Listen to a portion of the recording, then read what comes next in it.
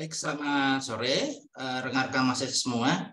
Hari ini kita akan menuntaskan dan juga melihat uh, contoh soal yang terkait dengan rangkaian arus listrik uh, searah di perkuliahan hari Senin yang lalu kita sudah sampai ke apa itu namanya dua hukum Kirchhoff yang kita biasa gunakan untuk menganalisis rangkaian majemuk walaupun sebetulnya dengan rangkaian yang sederhana pun uh, kita juga bisa menganalisis agar asal kita sudah menghitung berapa rangkaian ekivalen dan lain sebagainya, apa namanya resistor ekivalen dan juga ya penyederhanaannya dan lain sebagainya. Namun memang umumnya hukum Kirchhoff yang kita pelajari di fisika dasar itu pada dasarnya digunakan untuk menganalisis rangkaian yang eh, apa namanya majemuk gitu ya yang memiliki eh, lebih dari dua sumber tegangan misalnya.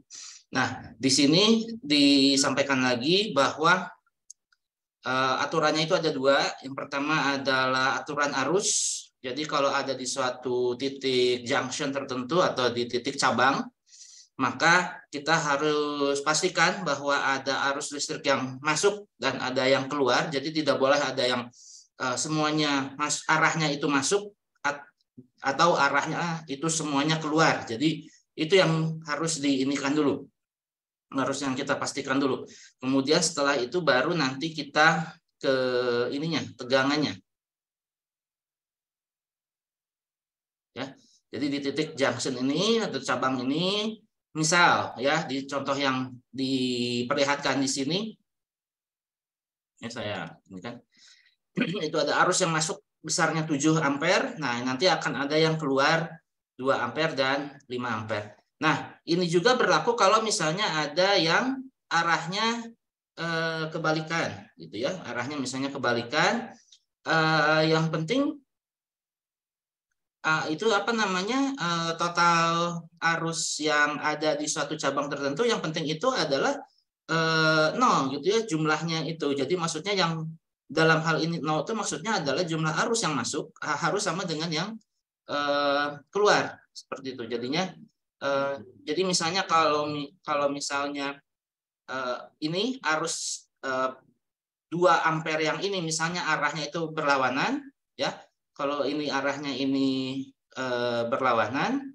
maka uh, artinya dia harusnya ini yang ini menjadi min 2 gitu ya. Harusnya ini menjadi min 2 jadi inputnya 7 kemudian arah arus dari yang tadinya ini ke dari kiri ke kanan positif 2 terus kalau uh, kita tentukan atau kita dapatkan bahwa arus yang ada di cabang ini adalah min 2 yang arahnya dari kanan ke kiri maka total yang keluar di sini ini haruslah 9 ya haruslah 9 nah sehingga dengan demikian total arus yang keluar dengan yang masuk itu jumlahnya sama. Jadi kalau misalnya ada ini ya yang 2 ampere ini arahnya ke sebelah kiri, maka di titik cabang ini yang masuk itu adalah 7 dan 2 dan yang keluar itu adalah 5. Tapi kalau contoh yang Anda lihat di yang gambar ini jelas bahwa ini yang masuk 7, yang keluar itu adalah 7 juga yaitu 5 dan 2.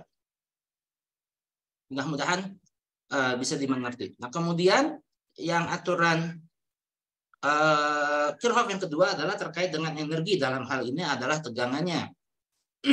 Jadi tegangannya ini menyatakan bahwa tegangan yang diberikan oleh suatu sumber tegangan tertentu itu nanti akan habis oleh masing-masing resistor yang ada di sini gitu ya akan dikonsumsi secara habis gitu ya akan dikonsumsi secara habis untuk satu loop yang sama jadi untuk satu loop yang sama ini, maka tegangan yang ada diberikan oleh baterai ini akan habis oleh ini, ya, oleh habis oleh eh, resistor yang ini dan juga resistor yang ini. Jadi prinsip dasarnya itu.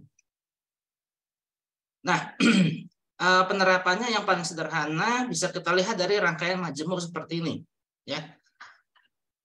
Jadi di sini kita lihat ada rangkaian majemuk yang terdiri dari R1, R2, dan R3 dan di uh, rangkaian majemuk ini kita punya ini kita punya uh, tiga buah sumber tegangan yaitu uh, GGL1 atau S1, kemudian GGL2 dan GGL3 yang orientasinya Anda lihat ya. Orientasinya Anda lihat dia ini positifnya yang kalau di GGL1 positifnya yang ini, negatifnya yang ini. Kemudian kalau GGL2 negatifnya yang ini, positifnya yang ini. Kemudian yang GGL3 uh, orientasinya seperti ini. Nah, jangan tanyakan kenapa ini seperti itu karena ini misalnya ada persoalan dibuat seperti sedemikian rupa sehingga rangkaiannya seperti ini. Apakah susunan daripada GGL dan resistornya itu bisa berbeda dari ini? Bisa, ya bisa. Hanya saja eh, soal yang biasanya kami desain untuk dipecahkan itu harus bisa diselesaikan. Jadi eh, apa itu namanya? Eh, kalau misalnya konfigurasinya berbeda, bisa jadi akan menghasilkan problem yang tidak bisa diselesaikan. Nah, itu yang mungkin dihindari gitu ya. Makanya kenapa pemilihan daripada uh, polaritas dari tegangan dan lain sebagainya itu dibuat sedemikian rupa ya kadang-kadang dibuat itu supaya dia bisa diselesaikan atau mudah itu ya untuk diselesaikan. Nah, uh, jadi uh, apa itu dan juga sebetulnya uh, apa namanya sebuah alat itu dibuat dengan tegangan yang polaritasnya itu ke atas atau ke bawah itu ya bergantung kepada eh, apa itu namanya perancangnya. Ya dia itu membuat rangkaian itu tuh tujuannya buat apa dan lain sebagainya. Sing dan dan dia juga kan harus memperhitungkan bahwa di satu titik cabang tertentu dia ingin supaya arusnya itu eh, tertentu gitu ya. Jadi tidak harus jadi ada spesifikasi tertentu misalnya yang harus dipenuhi supaya arus yang masuk ke dalam eh, cabang tertentu itu besarnya sekian ampere dan lain sebagainya. Nah, makanya dia dibikin majemuk seperti ini tujuannya adalah untuk itu. Jadi eh, kenapa ada rangkaian majemuk, kenapa ada eh, rangkaian yang sederhana ya tidak lain tidak bukan ya supaya apa namanya suatu device yang atau suatu perangkat yang ingin digunakan itu ya benar-benar bekerja gitu ya makanya dia didesain seperti itu. Oke, di contoh yang Anda lihat di gambar ini, tadi sudah saya jelaskan eh, ininya apa eh, konfigurasinya. Ada tiga buah GGL dan tiga buah resistor. Nah, di sini eh, kita bisa terapkan hukum pertama dulu. Ya, hukum pertama di sini kita pilih di junction A atau di titik cabang A. Kita tentukan bahwa untuk menghitung arus dan juga tegangan yang dihasilkan dari rangkaian ini, kita tentukan dulu arusnya bahwa di titik junction A ini atau di titik cabang A, bahwa arus yang masuk itu adalah yang berasal dari sini. Nah, pemilihan daripada I1, I2, I3 di sini sebetulnya bebas. ya Sebetulnya bebas, namun ini di dalam contoh yang saya perlihatkan di sini, saya memilih Ya, saya memilih bahwa yang masuk itu I1, yang keluar itu I2 dan yang keluar adalah I3. Gitu ya. Uh, jadi dengan demikian ya, jadi jadi ini I2, ini I3 atau ini I3 atau I2 yang masuk itu I1. Jadi yang penting di satu titik cabang tertentu ada arus yang masuk, arus yang keluar. Anda misalnya mau memilih yang I2-nya yang masuk, I3-nya yang keluar, boleh dan kombinasi yang lainnya silahkan. Tapi uh, yang penting nanti di titik yang ini ya di cabang yang ini arus jumlah arus yang masuk harus sama dengan jumlah arus yang keluar. Ya karena me, di apa namanya hukum Kirchhoff satu menyatakan kekekalan eh, apa itu namanya muatan yang tidak lain tidak bukan bahwa uh, jumlah muatan yang masuk di satu uh, percabang tertentu harus sama dengan yang keluar dan direpresentasikan dalam hal ini karena arusnya karena muatannya ini sekarang sudah mengalir dalam bentuk arus maka ya ini tadi arus yang masuk sama dengan arus yang keluar dan untuk permasalahan yang ini ya dalam menyelesaikan kasus yang ini saya memilih ya saya sebagai uh, yang akan menyelesaikan persoalan ini saya memilih I1-nya itu yang masuk, I2-nya yang keluar, I3-nya yang keluar juga gitu. Apakah saya boleh memilih I1-nya masuk, I3-nya masuk, I2-nya keluar? Boleh, enggak masalah. Ya, yang penting di satu titik cabang ini nanti ada arus yang eh, keluar dan ada yang masuk. Nah, kemudian uh, setelah kita terap dan dan kita hanya perlu menetapkan uh, apa namanya hukum satu ini di satu titik cabang aja ya. Jadi jangan jadi jangan apa namanya jangan ribet-ribet di A dan di B misalnya ya itu kita tentukan dan berbeda. Nah itu bisa kacau ya. Kita tentukan satu aja karena yang nanti berlaku di B itu otomatis adalah sama dengan atau setara dengan apa yang berlaku di A gitu ya. Jadi uh, untuk menyelesaikan persoalan ini uh, kita tentukan uh, kekekalan muatannya itu hanya di satu titik cabang aja. Karena kalau sudah menetapkan di satu titik A di sini misalnya A, maka nanti B juga mengikuti. Karena lihat di B kalau kalau misalnya di A ini sudah ditentukan, maka di B arus I itu nanti I3 itu nanti masuk, I2 itu juga masuk dan I, I1 justru nanti yang keluar gitu ya. Jadi nanti ininya uh, jadi kebalikannya gitu ya. Jadi ini akan otomatis dan tidak perlu didefinisikan lagi ya. Tidak perlu didefinisikan lagi, cukup hanya di satu titik aja. Apakah saya boleh memilih untuk uh, apa namanya menghitung hukum Kirchhoff satu di titik cabang B? Boleh, ya, boleh. Dan Anda misalnya memasukkan misalnya I1-nya ke sini masuk ke titik cabang B, I2-nya keluar, I3-nya keluar, boleh. ya uh, Boleh, dan, dan, dan nanti perhitungan hukum Kirchhoff ke bawah ke bawahnya itu akan mengikuti itu. Yang pasti Anda harus konsisten, ya. Jadi kalau misalnya lambangnya itu masuk, arusnya itu masuk ke dalam titik cabang, maka dia cenderung uh, ininya apa namanya uh, apa itu namanya uh, positif, gitu ya. Ada sesuatu yang masuk, kemudian yang ini yang I2 sama I3 juga positif kalau misalnya I1, I2, I3 dalam satu lajur. Artinya I1, I2, I3 itu akan saling menghabiskan karena itu tadi kekal dia ya, karena kekal.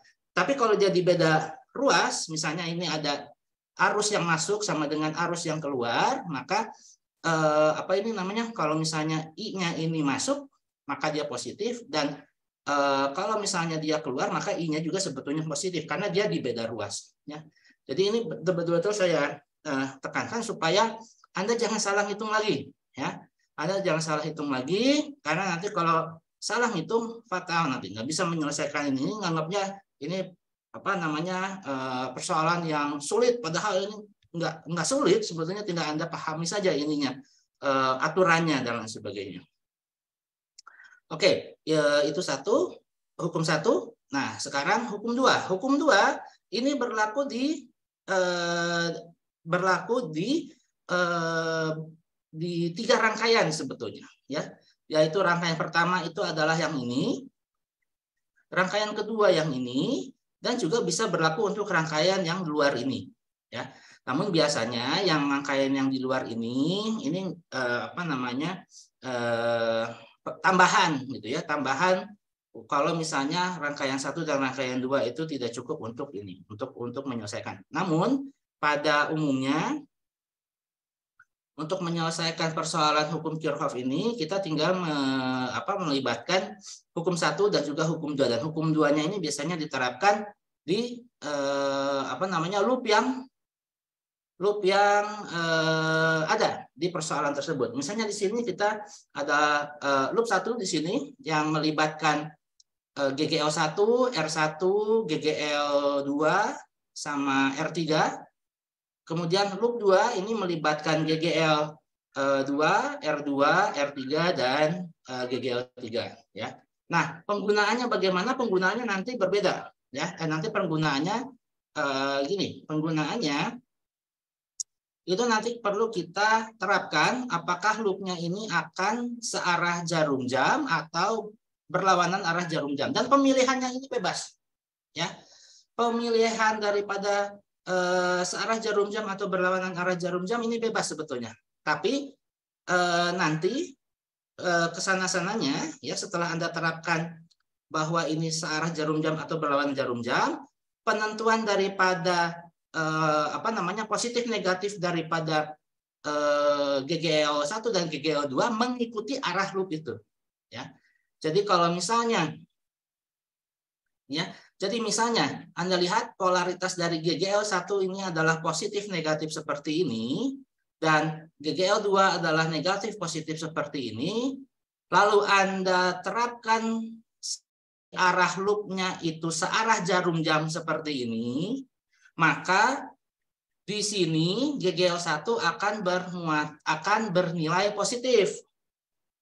Dan ini akan bernilai negatif. Kenapa? Karena kalau GGL1 dia itu arah panjarnya, arah polaritasnya searah dengan loop. Ya. Jadi kalau saya sudah memilih bahwa arah loopnya di sini adalah searah jarum jam seperti ini, kemudian arah dari polaritas uh, epsilon satunya atau GGL satunya adalah positifnya di atas, negatifnya ke bawah, maka ini positif. Gitu. Maka GGL ini positif. Sedangkan sebaliknya yang ini nanti ya nanti menghitung di ruas yang di sebelah kiri ini GGL yang ini bernilai negatif. Kenapa? Karena arah dari loop ini dia berlawanan dengan uh, eh sorry sorry arah arah dari ini adalah juga positif. Kenapa? Lihat, arah daripada loop ini ini searah juga dengan polaritas daripada si GGL2 ini. Makanya eh, tanda dari GGL1 dan GGL2 nanti sama. Keduanya itu adalah positif gitu ya, sama-sama positif. Nah, di loop kedua yang di sebelah kanan kebalikannya terjadi. Ketika saya memilih bahwa I eh ketika saya memilih bahwa arah loopnya juga sama dengan arah loop yang ada di sebelah kiri yaitu eh, searah jarum jam, maka di sini bisa kita lihat bahwa nilai daripada GGL2 sekarang menjadi negatif. Ya. Karena arah loopnya ini berlawanan dengan polaritas ya, berlawanan dengan polaritas daripada GGL 2 eh, dan juga berlawanan dengan arah dari GGL3 di sini di loop kedua yang di sebelah kanan ini kalau saya menerapkan arah loopnya itu searah jarum jam seperti ini maka nilai dari GGL1 eh sorry GGL2 dan GGL2 itu keduanya negatif. Nah, kalau misalnya saya terapkan arah GGL di loop kedua ini berlawanan jarum jam, maka Eh, sorry, sorry. Maaf, maaf, maaf. Maaf, maaf, maaf. Saya saya ralat ya, saya ralat. Saya ralat, mohon maaf. Uh, mohon maaf. Tadi loop 2 ya. Loop 2 yang ini ya. Saya terapkan ya, mohon maaf. Saya terapkan di sini arah dari loop ini adalah searah jarum jam. Nah, kalau dilihat dari polaritas GGL3 dan GGL2, ini terlihat yang positif ini ada di sebelah bawah di sini, yang negatif ada di sebelah atas. Arah dari loopnya ini searah jarum jam.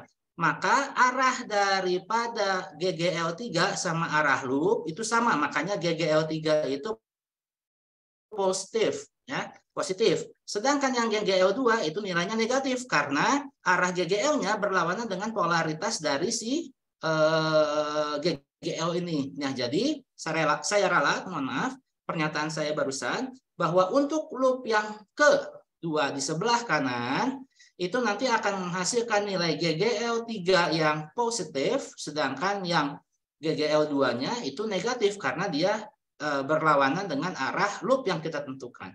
Pak, bagaimana kalau misalnya kita arah loopnya berlawanan jarum jam? Nah, kalau berlawanan arah jarum jam misalnya ke sini gitu ya, maka nanti dia akan melawan daripada arah GGL3 tapi sama dengan GGL2. Jadi GGL2-nya nanti bernilai negatif, uh, positif, GGL3-nya nanti akan bernilai negatif. Nah, kenapa nah kenapa itu positif dan negatif? Apa maksudnya dengan arah loop ini? Arah loop ini ini sebetulnya mirip-mirip uh, dengan nanti arah dari arus yang nanti akan ini yang akan uh, apa itu namanya mengalir di rangkaian loop 1 dan uh, loop 2 ini. Namun masih dalam asumsi ya. Jadi uh, tapi asumsi ini berbeda dengan asumsi yang sudah kita terapkan dari hukum satu. Hukum satu itu untuk titik di cabang ini aja ya. Jadi itu adalah asumsi jadi hukum satu dan hukum dua sebetulnya menyatakan asumsi daripada pergerakan arus namun eh, tujuannya beda ya. Kalau di hukum pertama asumsinya itu berkaitan dengan eh, arus yang masuk di suatu titik cabang tertentu sedangkan kalau di hukum kedua itu dia berkaitan dengan arus yang mengalir dalam satu rangkaian gitu ya dalam satu loop rangkaian tertentu. Nah sehingga dengan demikian uh, maka uh, kenapa yang kasus searah jarum jam ininya positif itu berasal dari ya ini tadi polaritas positif negatif ini kan menghasilkan arus yang sebetulnya arahnya itu ke atas gitu ya. Nah ini ya GGL1 ini kan di didesain seperti ini menghasilkan arahnya ini harusnya kan ke atas ya kan karena ini positif ini negatif. Nah makanya udah dia arah nah makanya arahnya dia ini kan dia ke atas ini kan sama aja dia kalau misalnya kita mengasumsikan di dalam rangkaian ini arah daripada uh, loopnya itu searah jarum jam. Sama kan? Nah makanya dia nanti bernilai uh, positif. Nah yang E2 juga kalau kita masih menganalisis rangkaian yang ada di sebelah uh, kiri ya ini juga sama positif ya. Ini juga sama positif. Kenapa? Karena lihat arah polaritasnya ini kan eh, apa namanya yang positifnya di bawah, yang negatifnya di atas. Arah arusnya harusnya ke bawah. Nah, karena dia eh, arah daripada loopnya juga searah jarum jam seperti ini, maka ya sesuai gitu ya. Maka sesuai dengan arah arus yang diasumsikan pada eh, arah daripada eh, loop ini. Nah, makanya kenapa tadi di sini untuk loop yang kedua di sebelah kanan ini bernilai negatif? Karena lihat ini nih, apa polaritas yang negatif ada di atas, polaritas yang positif di bawah. Harusnya kan arus mengalir itu ke bawah, ya kan mengalirnya itu ke bawah, tapi arah eh, arus yang kita asumsikan dari loop ini itu justru ke atas atau searah dari jarum jam. Makanya yang ini polaritasnya menjadi negatif, yang GGL3 menjadi positif karena lihat dia searah gitu ya dengan uh, arah daripada si loop ini. Nah, makanya nanti hati-hati penggunaannya jangan sampai uh, salah. Nah, sekali lagi, pemilihan Allah ruh, kemudian pemilihan daripada arus yang mengalir pada satu titik cabang tertentu, masuk keluarnya itu bebas. Anda bisa tentukan sendiri, tapi kuncinya di sini adalah supaya Anda bisa menghasilkan perhitungan yang benar, maka konsistensinya itu perlu dijaga gitu loh.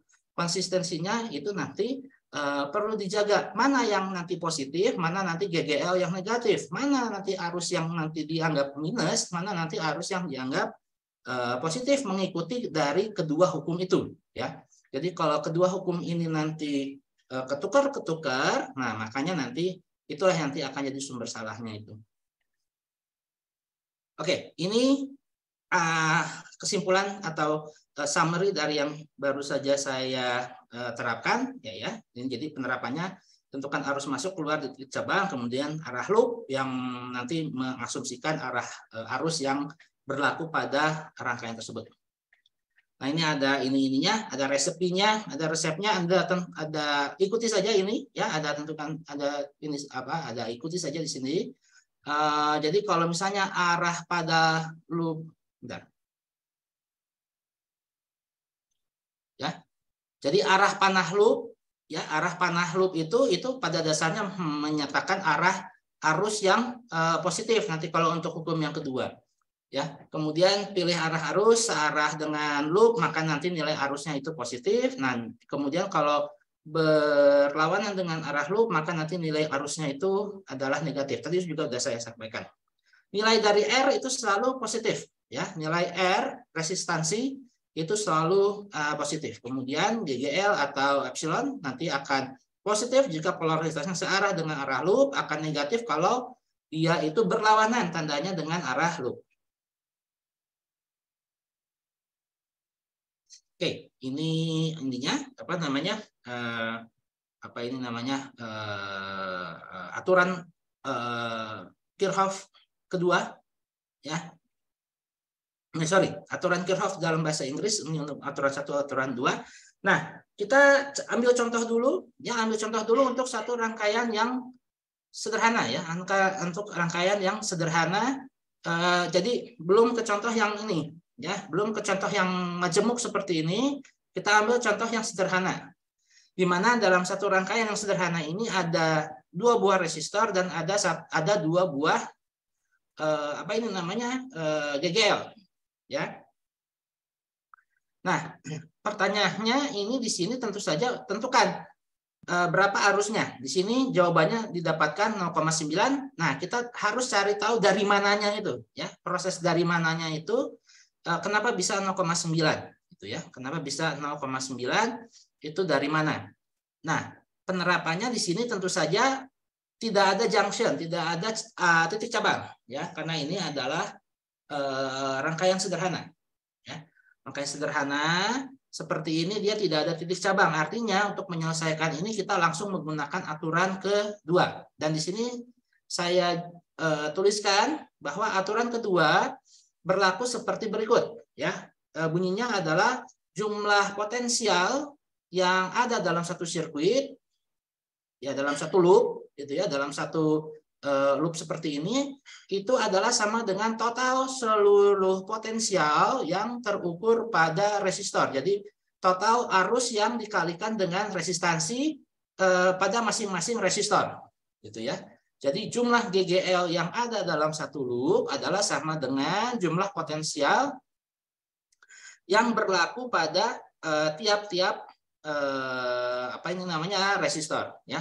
Jadi dengan demikian kita terapkan di sini uh, saya uh, pilih arah loop. Jadi saya langsung menggunakan aturan kedua dan dalam aturan kedua maka saya harus mengasumsikan arah dari close circuit loop ya atau arah daripada uh, loop arus dan saya menentukan arah loopnya ini searah jarum jam.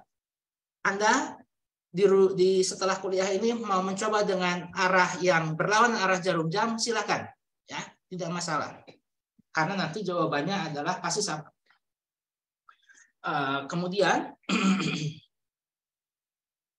kemudian setelah kita tentukan uh, arah daripada loop ini, maka dan searah jarum jam ini, maka saya bisa langsung menentukan bahwa Eh, GGL yang 24 volt ini dia polaritasnya adalah positif karena dia mengikuti daripada arah daripada si loop ini. Artinya saya mengasumsikan dengan arah uh, loop yang searah jarum jam ini, maka arah arusnya juga menjadi seperti ini. Jadi dia ke sebelah kiri ke sini, ke atas ke sini, ke kanan ke sini, ke bawah ke sini dan juga ke kiri ke sini gitu kan? Ya. Jadi apa namanya arah dari arusnya ini searah dari jarum jam.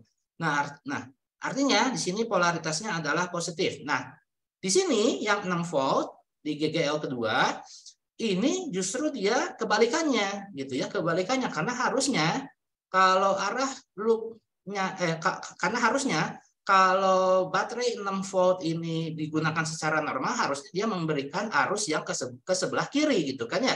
Karena ini 6 volt ini harusnya memberikan arus sebelah kiri. Nah, karena dia berlawanan tanda atau berlawanan arah dari asumsi arus loop kita, maka ini menjadi negatif. Kalau Anda misalnya nanti menerapkan arah loopnya itu berlawanan jarum jam, maka nanti yang 24 ini menjadi negatif, yang ini menjadi positif. Gitu ya. Yang ini jadi positif, yang ini menjadi negatif. Kalau aturan uh, arusnya, aturan loopnya itu dibuat berlawanan jarum jam. Tapi karena saya sekarang memilih arahnya itu searah jarum jam, maka ini positif 24, ini negatif 6. Oke, nah sekarang saya ini kan, lanjutkan. Ini kita sudah selesai untuk yang ruas kiri. Sekarang yang ruas kanan. Ruas kanan itu adalah sama dengan total arus, adalah total potensial yang terdapat pada masing-masing resistor. Artinya total dari arus dikalikan dengan R.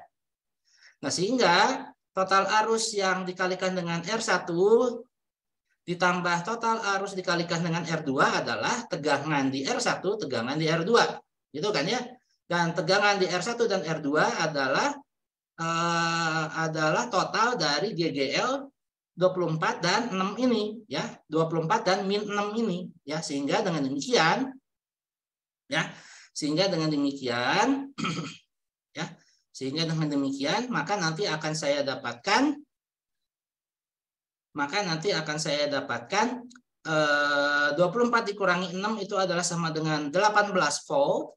Kemudian R1 R2 itu adalah 12 ohm ditambah 8 ohm. Artinya dia jumlahnya menjadi 20 ohm. Sehingga 18 per 20 ya 18 volt jadi gini kita kan tujuannya untuk mencari I di sini kan. Nah, makanya nanti 18 eh, eh, ohm, eh sorry, 18 volt hasil dari pengurangan 24 dikurangi 6 dibagi dengan 20. 20 itu adalah penjumlahan resistor 12 ditambah 8 sehingga didapatkan 0,9 ampere ya. Dan dia positif karena arusnya searah dengan jarum jam. Nah, kalau misalnya tadi saya pilih arahnya itu berlawanan jarum jam, berlawanan jarum jam, nanti akan dihasilkan arusnya itu adalah negatif 0,9. Ya. Kalau misalnya saya tadi memilih eh, apa itu namanya arah daripada arusnya itu eh, apa itu namanya arus arah arusnya itu adalah eh, apa sorry arah dari loopnya itu adalah berlawanan dari jarum jam maka nanti akan didapatkan i-nya itu adalah uh, min 0,9 ya. Min 0,9 tapi dia berlawanan dari ini berlawanan dari arah arus yang sesungguhnya gitu ya. Makanya dia bisa di apa itu namanya bisa dikoreksi menjadi 0,9 Nah, Anda juga sebetulnya bisa melihat ya. Anda sebetulnya juga di sini harusnya bisa melihat mana yang lebih kuat antara baterai 24 volt sama yang 6 volt. Nah, tentu saja di sini ya, tentu saja di sini yang 6 volt ini akan kalah gitu ya, akan kalah dibandingkan dengan yang 24 ini. Artinya dengan artinya arah arus sebetulnya bisa Anda tentukan secara uh, kualitatif dulu ya bisa Anda tentukan secara kualitatif dulu arah yang tepatnya itu ke mana. Dari sini, misalnya di sini 24, ini 6. Nah, ini kan lebih kecil daripada ini. ya Ini lebih kecil daripada ini. Nah, berarti arah arusnya ini uh, tentu saja yang dominan itu adalah dari dari yang 24 ke 6, bukan dari 6 ke 24. Nah, makanya kalau misalnya tadi arah loopnya itu berlawanan, itu tidak apa namanya itu sebetulnya bertolak belakang dengan arah arus yang sesungguhnya. Makanya tadi yang kalau misalnya tadi e, menggunakan aturan yang ini ya, aturan yang apa itu namanya aturan yang berlawanan dari jarum jam maka harus dikoreksi dulu menjadi e, positif 0,9 karena asumsinya adalah e, arah loopnya berlawanan dengan arah arus yang sesungguhnya. Karena kalau dari sini jelas arah arus yang sesungguhnya itu bisa Anda lihat secara kualitatif ini 24, ini 6. Ini lebih kecil daripada yang 24 ini. Nah, makanya pasti arah arusnya itu akan searah jarum jam gitu. Jadi kalau Anda melakukan asumsi uh, arusnya berlawanan arah jarum jam, maka harus dikonversikan menjadi uh, kebalikannya gitu ya. Seperti itu. Tapi kalau di sini ini jelas bahwa uh, kita pemilihan loopnya searah jarum jam ini sudah sesuai dengan arah arus yang uh, sesungguhnya. nah, cara yang kedua bisa juga dilakukan seperti ini. Uh, kalau di buku acuan ini prinsip penginiannya, prinsip uh, apa itu namanya prinsip penghitungannya ini menggunakan potensial naik sama potensial turun. Jadi potensial naiknya itu adalah yang 24 karena dia searah dengan loop ya, searah dengan arah loop di sini dan yang 6 ini karena berlawanan dia dianggap sebagai potensial turun atau potensial drop. Artinya dia ditempatkan di ruas sebelah kanan. Nah, kemudian yang kanan ini juga ada komponen arus dikali 12, ada komponen arus dikali 8. Nah, ini perhitungan yang ini tepat, perhitungan yang di atas juga tepat, ya. Jadi kalau yang uh, jadi tidak ada tidak ada yang salah sebetulnya. Hanya yang kalau yang ini dia menggunakan definisi uh, potensial naik dan potensial turun, artinya potensial yang masuk dan artinya, di sini adalah potensial yang diberikan dan ini adalah potensial yang dikonsumsi, gitu ya.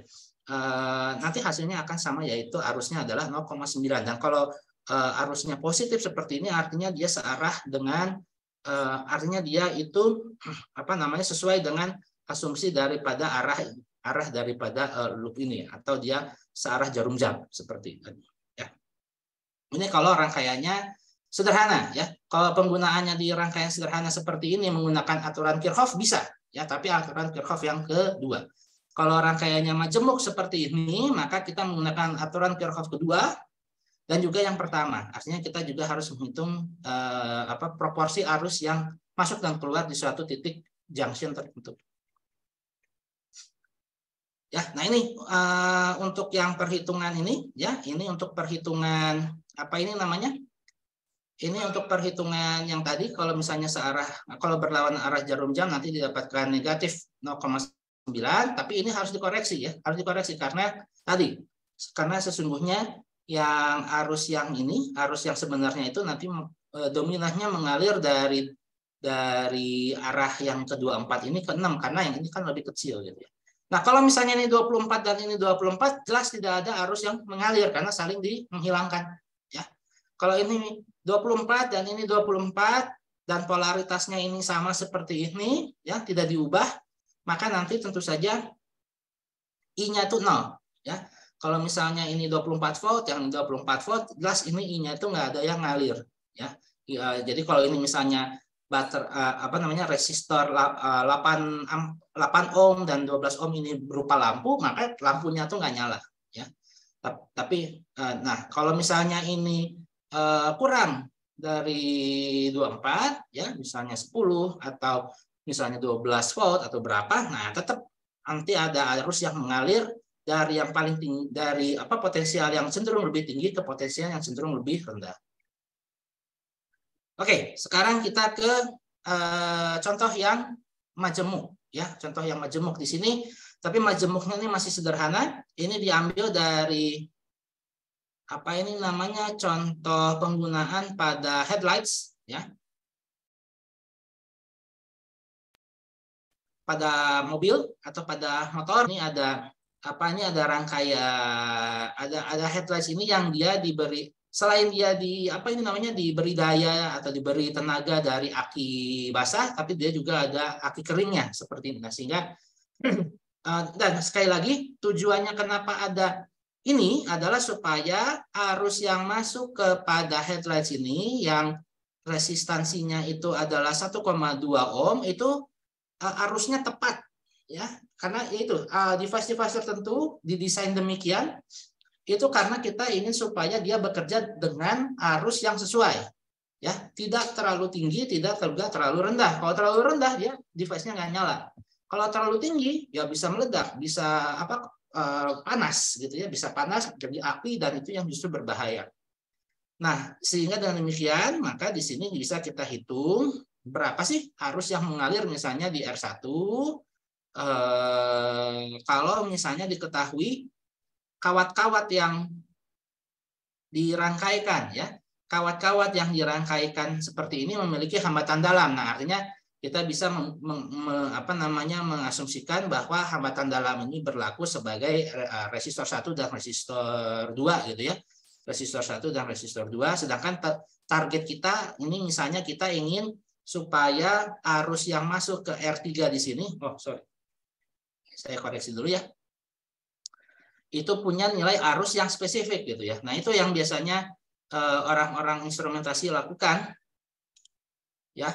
Jadi uh, apa dan dan itu lumrah di elektronika ya misalnya alat-alat geofisika alat-alat pertambangan atau alat-alat uh, perminyakan oceanografi dan juga manufaktur yang kita gunakan itu komponennya dia harus dialiri oleh arus tertentu misalnya ya dialiri oleh arus tertentu tidak boleh terlalu tinggi tidak boleh rendah kalau enggak nanti dia rusak atau dia tidak bisa bekerja Nah, di sini dengan menggunakan rangkaian majemuk ini, kita ingin mengupayakan supaya arus yang masuk ke sini itu tepat, ya.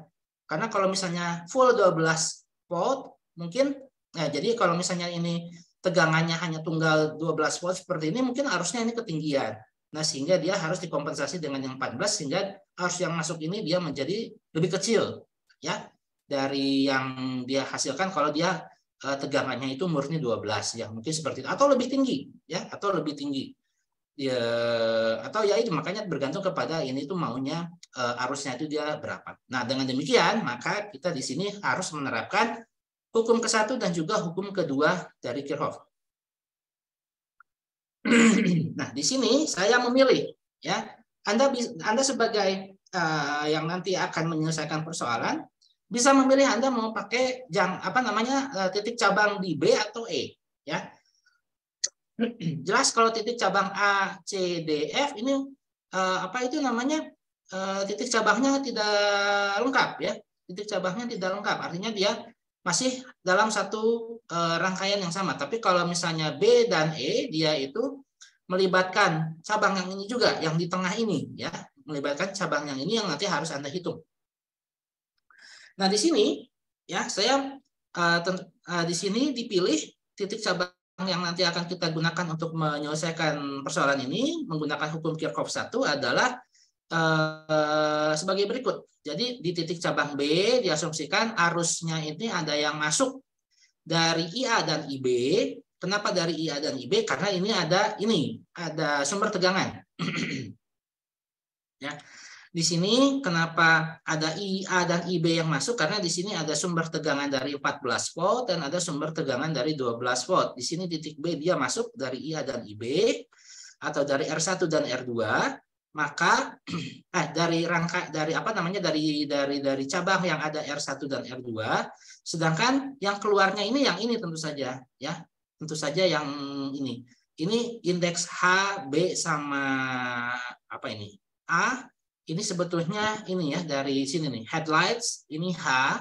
Jadi ini disebut ini adalah IH kemudian ini ada IB IB itu adalah arus yang uh, diberikan oleh baterai. Dan satu lagi adalah arus yang diberikan oleh alternator ya. Nah, sehingga dengan demikian ini dapat ininya IA ditambah IB sama dengan IH arus yang masuk IA dan IB atau IR1 IR2 adalah sama dengan yang keluar yaitu di R3 ini didapatkan uh, hukum Kirchhoff satunya adalah yang ini. Nah ini harus anda lakukan ya, ini anda harus lakukan. Jadi untuk menghitung rangkaian maju seperti ini maka hukum satunya harus ditentukan seperti ini ya harus harus ditentukan uh, ininya di titik cabang ini arus yang masuk arus yang keluarnya itu uh, mana aja gitu ya. Jadi harus ditentukan. Bagi yang clueless ini Anda harus benar-benar tune in ininya tune in pemikiran Anda supaya Anda bisa menyelesaikan ini. Karena kalau nggak bisa nanti eh, apa namanya materi eh, rangkaian arus listrik searah Anda nggak bisa dapat poin dari ujian. Ya, jadi eh, harus tune in ini bagaimana cara menyelesaikannya. Harus ada keinginan, motivasi untuk untuk tahu bagaimana cara menyelesaikan ini itu gimana. Ya, sekalipun again di nanti kalau udah masuk ke dunia profesional di bidang oceanografi, teknik geofisika, pertambangan, perminyakan dan juga manufaktur te, apa teknik industri dan lain sebagainya. Anda alat-alat itu nanti di maintenance sama orang elektro ya. Tapi ya itu tadi pemahaman dasar tetap harus punya supaya uh, kalau misalnya ada kerusakan dan Anda penanggung jawabnya Anda tahu gitu bagian mana yang rusak dan lain sebagainya walaupun Anda bukan orang teknisinya gitu ya. Seperti itu. Oke. Okay. Uh, di sini kita sudah ini kan uh, hukum satunya ada IA ditambah IB dikurangi IH sama dengan 0. Ini maksudnya adalah yang, yang masuk sama dengan yang keluar. Ini IH kalau saya tulis di ruas sebelah kanan kan jelas ya ada yang masuk sama yang keluar. Nah, ininya sama. Nah, sekarang kita terapkan untuk hukum yang kedua. Nah, untuk hukum kedua ini saya memilih loopnya itu berlawanan jarum jam ya. Dan sekali lagi pemilihan loop ini bebas ya. Pemilihan loop ini sebetulnya bebas eh, Anda mau pilih searah jarum jam atau berlawanan arah jarum jam. Anda yang memilih arah jarum jam mungkin melihat dari sini, mungkin melihat dari arah panjar daripada si baterai yang ini positif negatif maka nanti Anda eh, dan Anda lihat dari IA-nya ini sebelah sini gitu ya. Boleh seperti itu. Eh, begitu pula untuk yang loop yang ini Anda juga misalnya memilih searah jarum jam uh, untuk loop yang kedua boleh juga gitu ya. Tapi sekarang saya memilih untuk uh, dia ininya uh, arah loopnya ini berlawanan arah jarum jam. Hanya untuk me, apa membandingkan ya hanya untuk memberikan kepada anda perspektif bahwa uh, pemilihan daripada arah loop itu sebenarnya bebas tapi yang penting itu adalah konsistensi dalam perhitungannya gitu ya. Kalau misalnya nanti anda ada satu notasi yang harusnya negatif jadi positif karena salah dalam menginikan arah loopnya, menyesuaikan dengan arah loopnya, maka di situ justru jadi nanti sumber kesalahannya itu. Oke, uh, nah sekarang kita lihat yang loop satu dulu yang atas, ya loop satu dulu yang atas. Ini saya pilih arah loopnya ini berlawanan arah jarum jam, maka dengan demikian, ya hukum Kirchhoff yang keduanya untuk loop yang pertama ini menjadi negatif karena jelas ya Jelas karena dari ini ya perlawanan arah jarum jam padahal ini arah panjar daripada si GGL 12 voltnya ini harusnya kan ke kiri. Dia berlawanan dengan ini, makanya dia menjadi 12. Nah, kemudian karena arahnya seperti ini dan kita bandingkan ya, kita bandingkan dengan aturan Kirchhoff yang pertama tadi, arah loop ini mengakibatkan dia berlawanan tanda dengan IH ya, atau I yang masuk ke R3 dan juga berlawan dan juga berlawanan tanda dengan yang IB. Nah, makanya dia begini. Ya. Menjadi negatif IH ditambah negatif IB kali R2 ya kayak gini ya ini untuk yang eh, eh, persamaan yang kita dapatkan dari loop satu ya nah oke okay. nah tadi kita punya ini hukum satu yang menyatakan IA ditambah IB sama dengan IH ini adalah persamaan satu kemudian tadi persamaan dua kita dapatkan dari loop satu yaitu yang bagian atas yang ini nah sekarang kita Eh, cari persamaan yang ketiga ya yang kita akan dapatkan dari loop 2. Nah, dari yang loop 2 seperti ini dengan asumsi uh, berlawanan uh, apa ber, apa asumsi arah loopnya ini berlawanan uh, jarum jam, kita dapatkan bahwa dia berlawanan dengan arah arus IB dan arah arus eh sorry dia searah dengan arus IB tapi berlawanan dengan arah arus IH IA dan juga berlawanan dengan ini apa GGL yang dihasilkan oleh 14 volt alternator ini. Nah, akhirnya saya nanti akan dapatkan ini 14 yang ini dua, positif 12. Lihat ya. Kenapa positif 12? Ya ini karena arah dari ininya ya, arah dari asumsi loopnya ini searah dengan yang 12 yang atas ini ya. Karena loop yang kedua ini kan melibatkan 14 dan 12 ya melibatkan empat melibatkan GGL yang 14 yang dari alternator sama yang dari baterai yang 12 dan bisa kita lihat dari arah panjarnya ini kalau arah loopnya uh, berlawanan arah jarum jam ini menjadi minus jadi minus yang ini jadi positif karena dia searah nih positifnya di sebelah sini negatif sini arah dari ininya dari arah loopnya itu dia uh, sama gitu ya seperti ini sedangkan dari as, Makanya di sini juga arah daripada IB-nya pun sama gitu ya, seperti itu.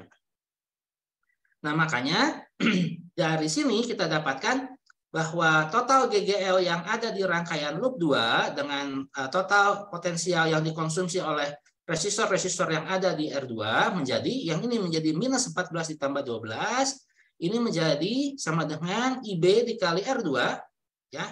IB yang ini karena searah dengan arah loop dikalikan R2 yang ini yang 0,01 ohm ini dikurangi atau ditambah negatif IA ya kenapa negatif? Lihat lihat tadi arah loopnya berlawanan jarum jam sedangkan asumsi eh, apa namanya arus di yang mengalir di sini itu dia justru masuk ke B itu makanya dia menjadi negatif Nah, makanya nanti akan kita dapatkan persamaan ketiganya itu adalah sama dengan min 2 sama dengan IB R1 dikurangi eh, IR3. Nah, artinya sekarang kita punya persamaan satu, punya persamaan dua, punya persamaan tiga, kita juga punya nilai-nilai dari R1 itu 1,2 ohm, R2 sama dengan 0,01 ohm dan R3 0,0 eh, adalah 0,1 ohm. Nah, sehingga kita lakukan eliminasi substitusi. Ya kita bisa melakukan dua hal untuk menyelesaikan persamaan ini untuk mendapatkan arus yang mengalir di A, di A, arus yang mengalir di lampu, ya, atau arus yang dihasilkan oleh baterai, ya. Jadi ini tujuannya adalah kita ingin menghitung berapa arus yang dihasilkan oleh alternator, berapa arus yang dihasilkan oleh baterai, dan berapa arus yang masuk ke dalam lampu. Karena dengan demikian nanti kita bisa hitung berapa ininya, apa arus yang diinginkannya itu berapa. Nah, untuk menyelesaikan ini ada langkah tambahan yaitu dengan melakukan substitusi dan eliminasi. Ya, dari persamaan satu, persamaan dua dan persamaan tiga kita lakukan substitusi eliminasi supaya nanti kita dapatkan I, A, I, B dan juga IH. Atau kalau kita paham uh, aljabar linear, kita juga bisa gunakan inverse matrix ya kita bisa gunakan inverse matrix sehingga nanti kita bisa dapatkan IA IHIB itu lebih eh, apa namanya dalam satu flow yang sama dalam satu apa namanya metode yang sama nah kalau menggunakan apa itu namanya kalau menggunakan substitusi eliminasi maka persamaannya nanti seperti ini. Ini ada persamaan satu dari hukum Kirchhoff satu. Eh, kemudian persamaan dua ini adalah persamaan eh, Kirchhoff dua ya dari hukum Kirchhoff dua untuk loop satu. Ini yang persamaan tiga berasal dari hukum Kirchhoff dua. Eh ya hukum Kirchhoff dua untuk loop dua ya. Nanti ini, ini, dan ini kita substitusi dan eliminasi, nanti dihasilkan persamaan 4, seperti ini. Kemudian dari persamaan 3, ya persamaan 3 dan persamaan 4, nanti kita dapatkan ini. Nah, persoalannya adalah, siapa di antara rekan-rekan di sini yang eh, lupa dengan eliminasi dan substitusi dulu di SMP? Harusnya sudah pernah diajarkan ya. Ya. Substitusi dan eliminasi itu dulu sudah pernah diajarkan saat Anda belajar di SMP atau SMA kelas 1 kelas 2 gitu ya. Nah, ini dipakai di sini ya. Kalau ini nggak bisa belajar lagi ya. Ingat-ingat kembali dulu yang Anda sudah pernah pelajari di SMP eh, atau di eh, SMA kelas 1 kelas 2 cara untuk menyelesaikan eh, SPL, sistem persamaan linear ya sistem persamaan linear dulu di SMA atau di SMP, ini kita gunakan di sini untuk mencari berapa arus A, arus yang dihasilkan oleh alternator, arus yang dihasilkan oleh baterai IB, sama arus yang nanti masuk ke dalam lampu atau IH. nah inilah nanti akan kita dapatkan bahwa dengan substitusi dan eliminasi, ya saya ingatkan kembali, eh, di sini setelah kita dapatkan persamaan satu persamaan dua persamaan tiga dari hukum Kirchhoff satu dan dua untuk loop satu dan loop dua maka sekarang harus kita gunakan ketiga persamaan itu untuk mendapatkan IA, IH, sama IB. Nah, caranya dengan substitusi eliminasi atau inverse matrix. Nah, dengan substitusi eliminasi, tadi saya sudah jelaskan ininya, uh, runutannya.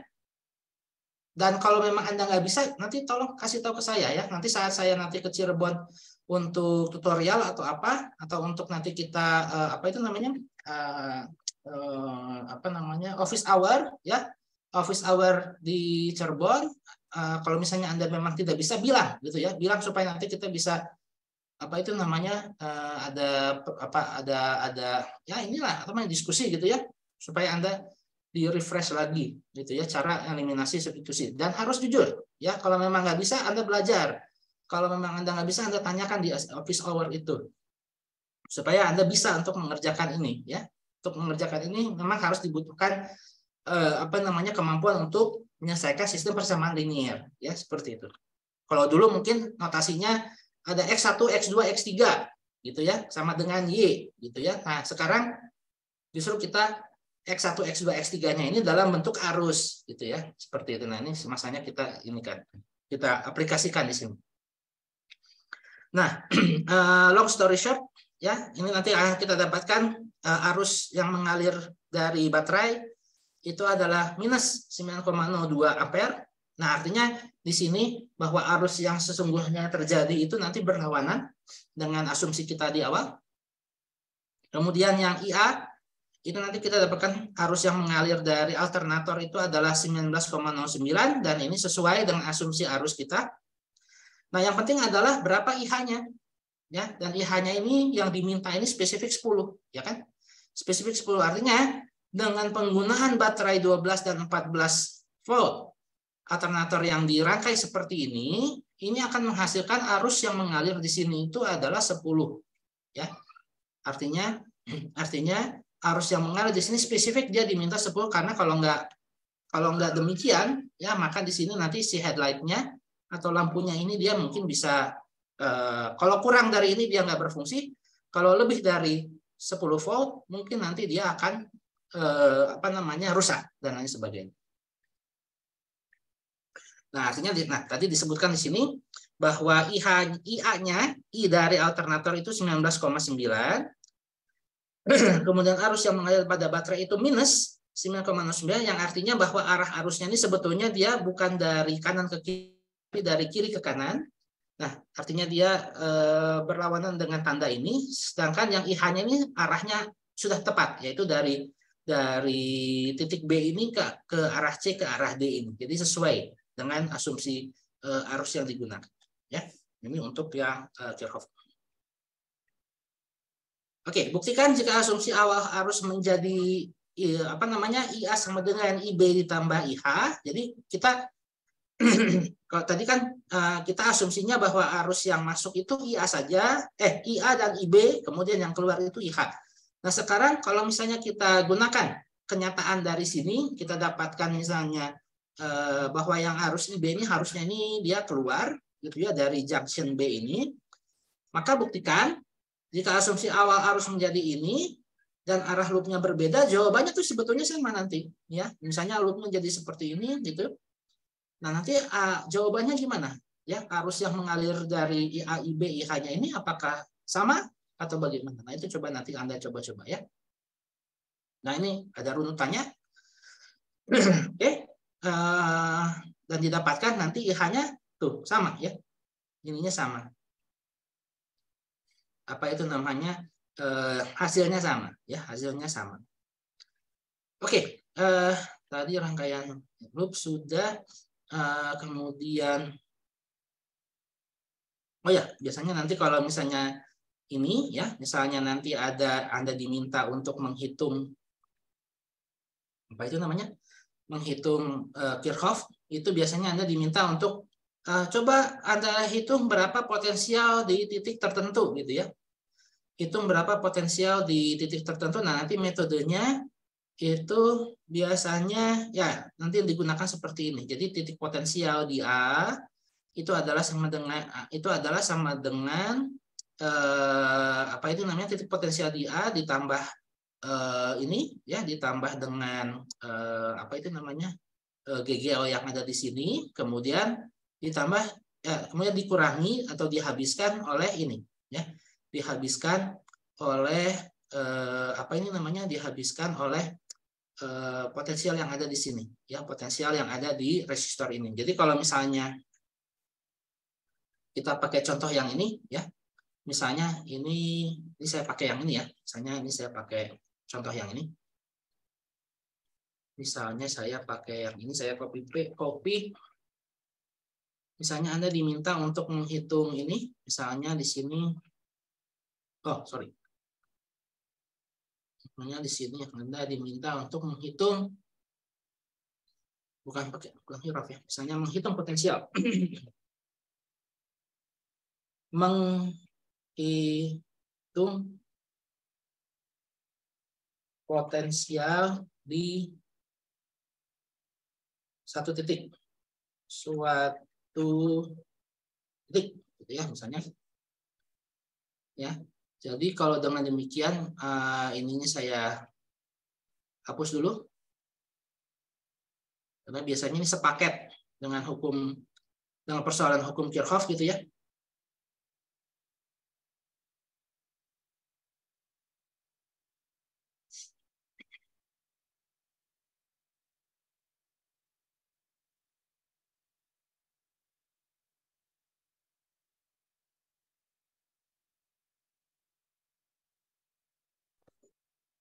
Oke, uh, oh ya, ya sorry. Nah ini misalnya uh, pertanyaan yang lazim ketika ujian adalah hitung potensial di ya hitung potensial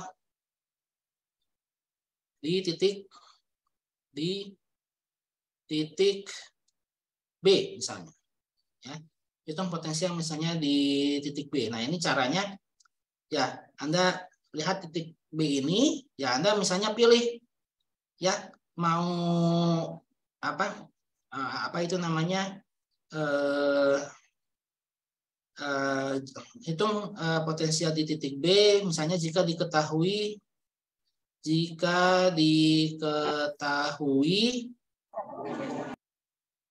jika diketahui potensial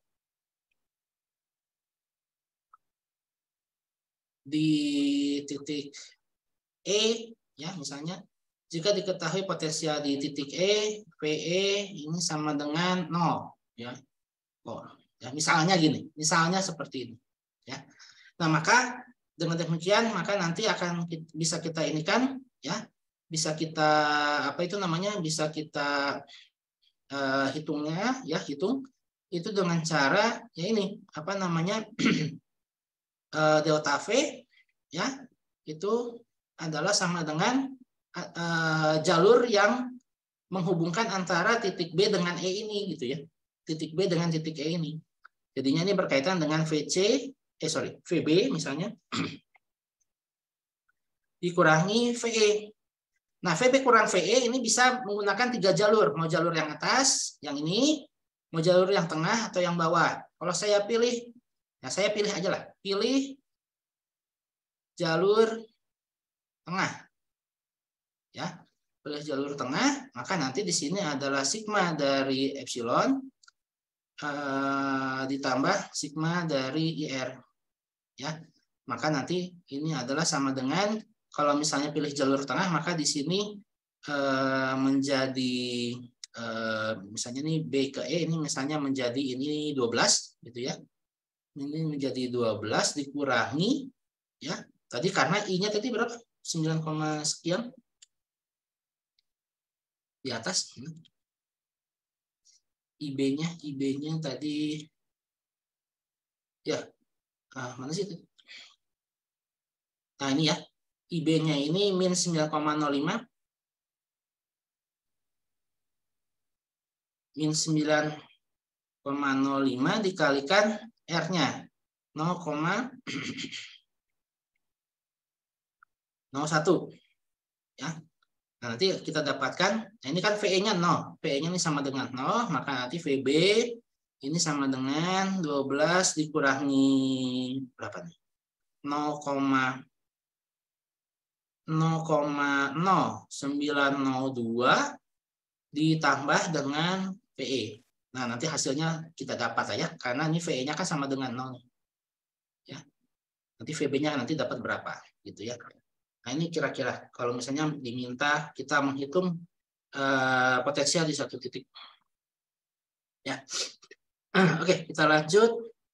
Uh, terakhir ya adalah berkaitan.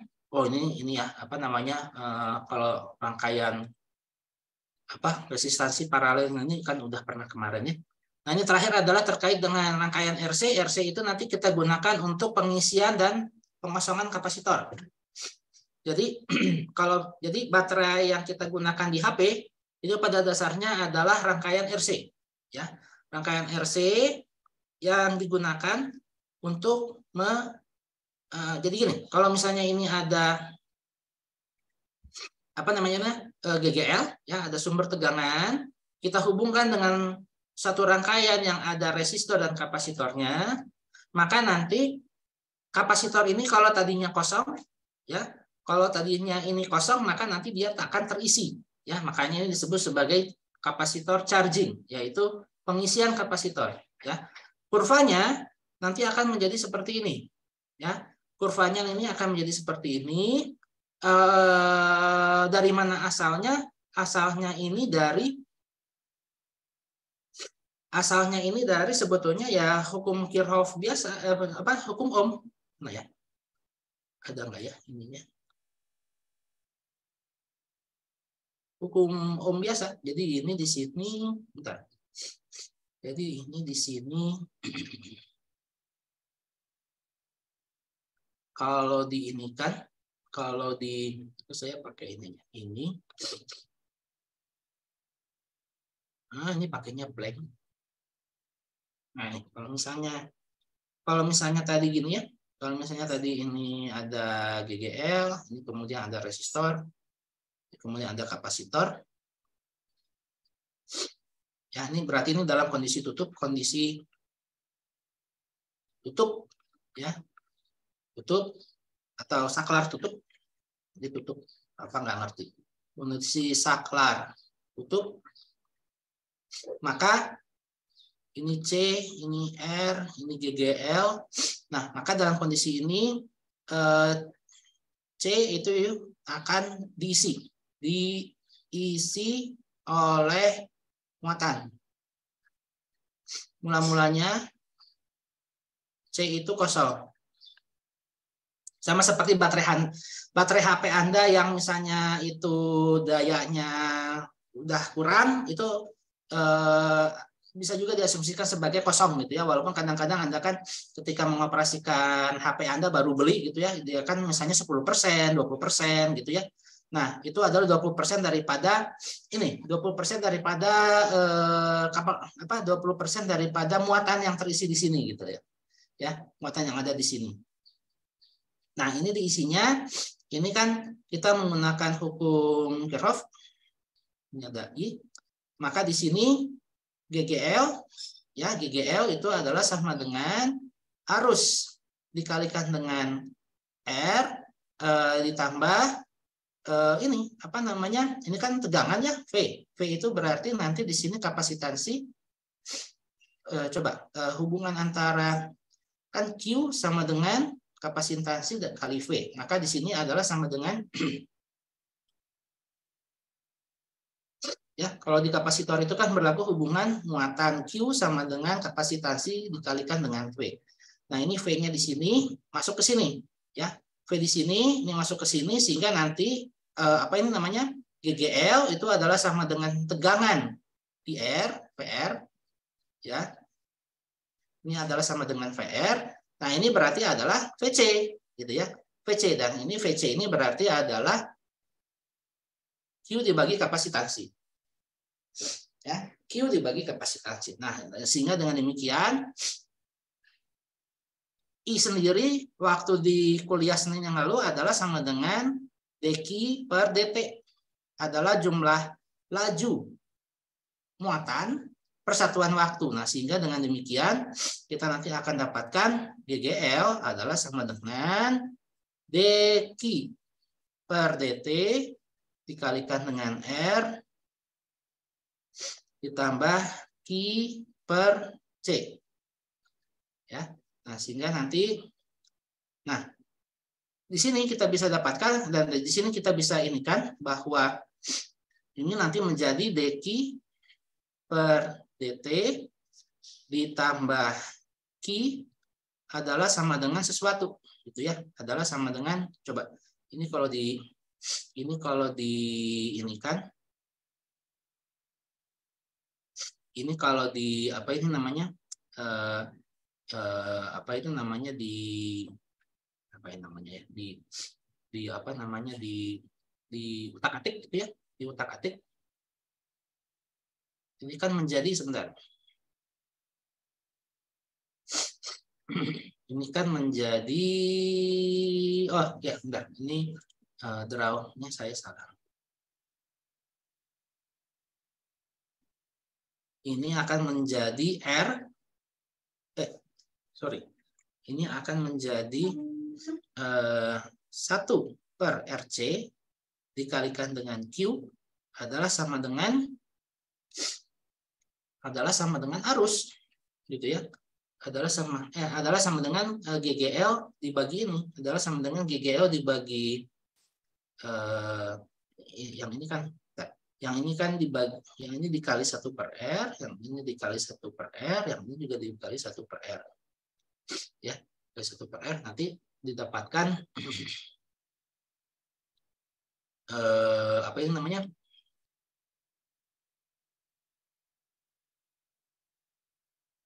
Ya, nanti akan didapatkan eh, ini, nanti didapatkan dia ini adalah eh, epsilon ya atau GGL dibagi dengan R yang ini. Nah, di sini 1 per RC itu nanti akan menjadi eh, apa konstanta tertentu yang namanya tau ya.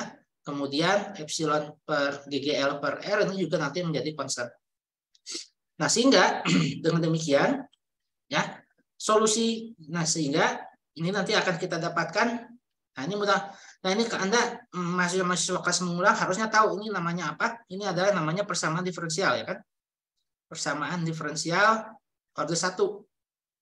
Diferensial orde 1 homogen eh enggak homogen enggak ya? Enggak, ada ada sumbernya. Kalau homo, kalau ini berarti tidak dia tidak homogen. Uh, atau bisa juga sih homogen juga eh entar, entar, entar, entar. Uh, atau bersama di oke okay. tapi yang pasti ini adalah bersama diferensial uh, orde satu ya homogen ya benar bersama karena ini nanti bisa eh, kalau ini dipindah ruaskan sini kan dia jadi konstan ya. Ini menjadi persamaan diferensial hom order satu homogen. Kemudian, nah, tapi nanti kalau salah nanti saya ada ini ya, ada ralat dan lain sebagainya. Persamaan order satu homogen. Nah ini nanti kita akan menghasilkan solusinya itu adalah uh, muatan sebagai fungsi waktu, gitu ya. Muatan sebagai fungsi waktu. Nah inilah yang muat, solusinya ini, gitu loh, ya. Singkat cerita, muatannya tuh ini.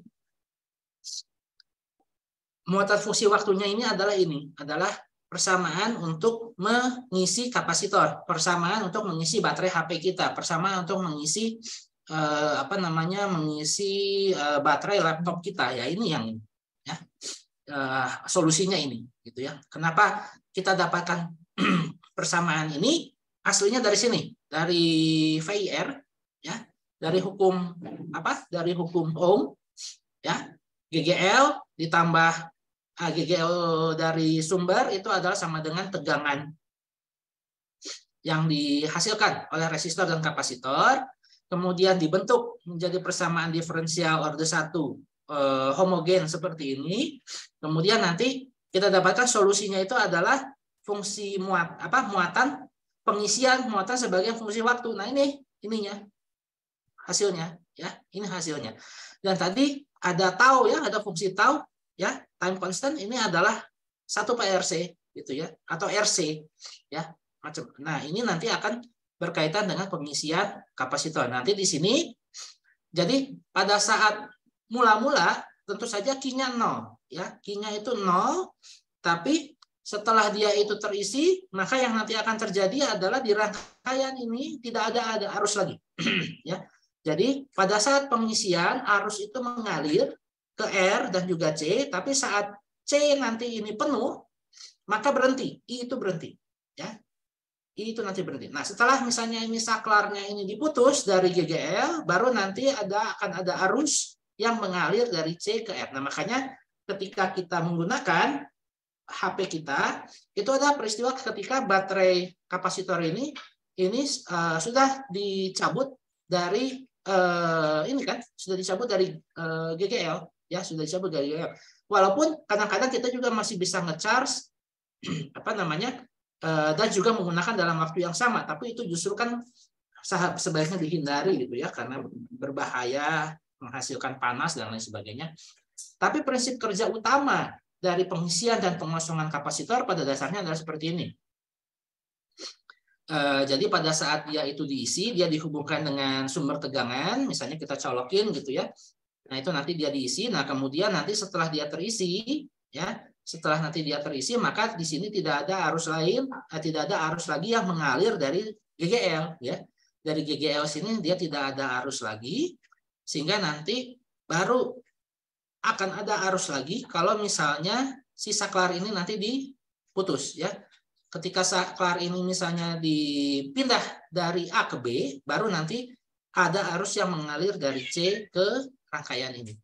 Ya, nah itu pada saat eh, apa arus mengalir dari C ke R ini itu disebut sebagai discharging atau pengosongan. Nah inilah eh, apa namanya eh, saat kita menggunakan HP, nah ini operasi yang digunakan itu adalah pengosongan. Nah dalam ujian Kadang-kadang dalam rangkaian Kirchhoff yang ini, ya rangkaian Kirchhoff yang ini biasanya dikasih kapasitor, ya. Biasanya dikasih kapasitor eh, di sini, ya. Misalnya entah itu di eh, CD atau misalnya di BE atau misalnya di AF, di AB juga boleh, di BC juga boleh dan lain sebagainya. Nah, Ketika kapasitor dirangkaikan dengan ini, maka Anda harus tahu, harus paham kondisi-kondisi di mana apa namanya kapasitor itu misalnya diterapkan. Apakah saat dia itu eh, mula-mula pada saat dia itu kosong, artinya kalau pada saat dia itu kosong berarti di seluruh rangkaian ini arus masih mengalir, ya arus itu masih mengalir. Kalau misalnya kapasitornya itu sudah penuh, maka di titik maka di cabang yang ada kapasitornya itu tidak ada arus yang mengalir. Nah, di cabang yang berkaitan maka nanti tidak ada arus yang mengalir. Ini misalnya kayak gini ya. Misalnya eh, sebagai contoh, ini saya eh, ambil contoh seperti ini. Eh, misalnya seperti ini. Eh, Oke, misalnya saya ambil contoh, ini ada uh, rangkaian seperti ini. Ini ada R1, kemudian ada uh, kapasitor, kemudian ini ada resistor, dan ada misalnya ada PGL, ya, dan kemudian di sini ada uh, apa ini namanya R ketiga dan ini ada eh, GGL. Jadi di sini ada GGL1, ada GGL2, ada kapasitor, ada GGL3, ada resistor 3, ada resistor 2, sama resistor 1. Nah, ini di sini misalnya diberikan titik-titik ya. Ini ada A, B, C, D, E, dan F dan kita misalnya tentukan berapa uh, tegangan total C gitu ya. Pada saat saat T itu terisi penuh pada saat C terisi penuh gitu ya. Pada saat C terisi penuh terisi penuh. Ya potong nggak ini nomor satu potong lagi nih bentar. Eh sebentar. Pada saat ya pada saat misalnya pertanyaan A eh, C eh, masih kosong. Masih kosong. Ya. Yang B C terisi penuh. Terisi penuh. Dan C misalnya pada saat C eh, pada saat misalnya Misalnya waktunya itu adalah sama dengan 0,1 eh, RC misalnya. Ya, 0,1 tau. Nah, ini kalau C masih kosong, ya, kalau C masih kosong Anda lihat ya. Kalau C masih kosong tadi Anda lihat, tadi kan persamaannya itu apa? Muatan adalah sama dengan C dikalikan delta V.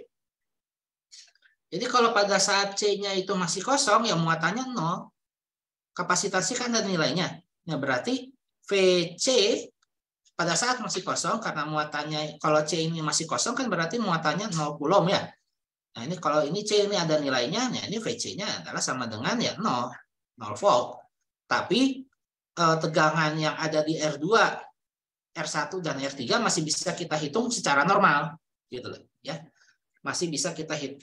Nah, kalau misalnya yang A ini VC-nya sama dengan 0, sedangkan nanti V apa namanya VR1 tegangan di R2 dan VR3 ini nanti akan dihitung secara dihitung secara hukum Kirchhoff 1 dan 2. Ya, ini kalau masih kosong. Ya, ini kalau masih kosong maka kita bisa lakukan seperti ini. Tapi kalau misalnya kondisi yang kedua, C terisi penuh, ya, C terisi penuh, maka kondisinya nanti ya, kasus B pada saat C terisi penuh, terisi penuh, maka kondisinya adalah I yang mengal I atau arus yang mengalir pada R2 ini sama dengan 0 gitu ya.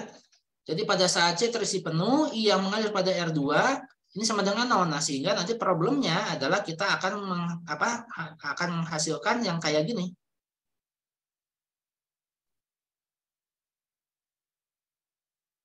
Uh, tadi ini gimana? Nah, ini kayak gini ya.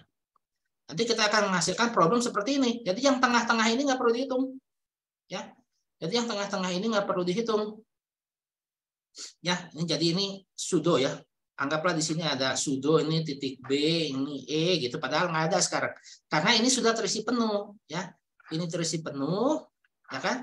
Berarti kan Q sama dengan kalau ininya kan maksimum, ya Q-nya ini maksimum, ini kapasitasnya ini dikalikan delta V. Nah ya udah, kalau pada saat terisi penuh maka kita tinggal menghitung berapa delta V yang ada dari sini. Ini pakai Kirchhoff 2 aja, ya. Ini kan ada GGL 1, ini ada GGL 2, ini ada GGL 3, ya, ini ada R1, ini ada R3. Nah, kita hitung aja GGL apa? Sigma dari apa namanya GGL adalah sama dengan sigma dari IR. Nanti kita dapatkan ya sigma dari apa? Sigma dari apa ini namanya? Sigma dari GGL1 dan GGL2 ini gimana? Ya udah kita terapkan aja misalnya kayak gini.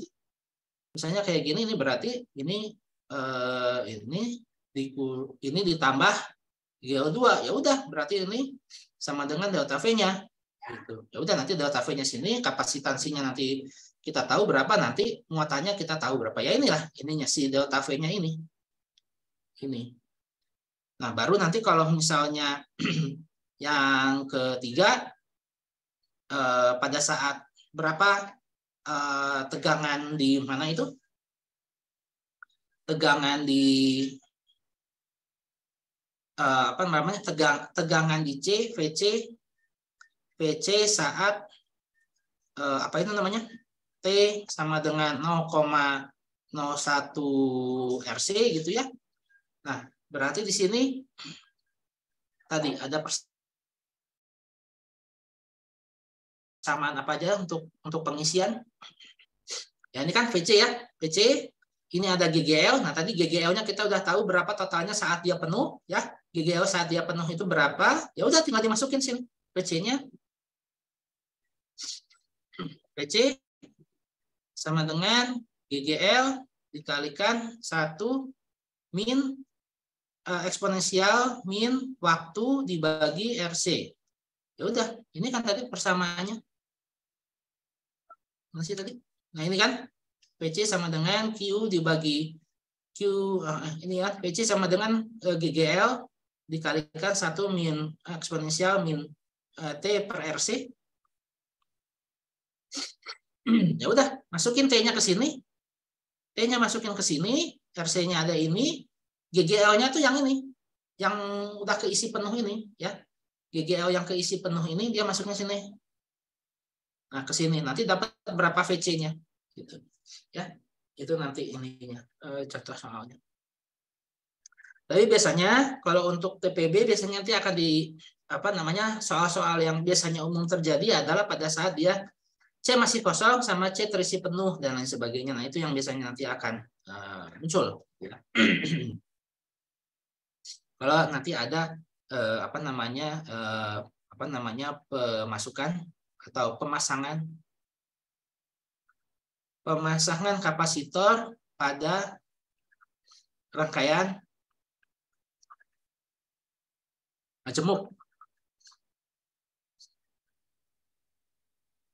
Ya, artinya ada dua hal yang ada tiga hal yang harus kita perhatikan.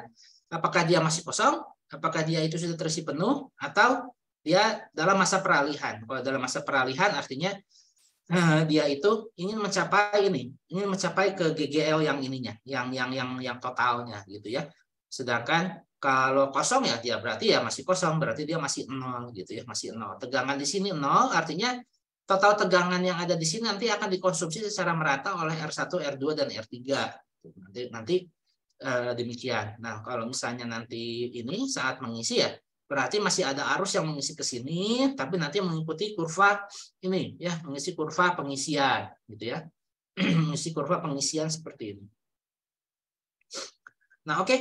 uh, eh, nah itu berarti uh, materi kita untuk pekan ini uh, theoretical, theoretical aspek teoretikalnya sudah disampaikan.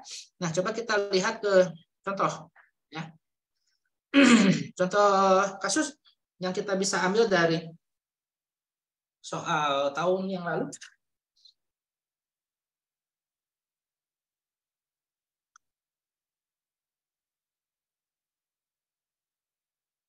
Ya, misalnya adalah, adalah sebagai berikut.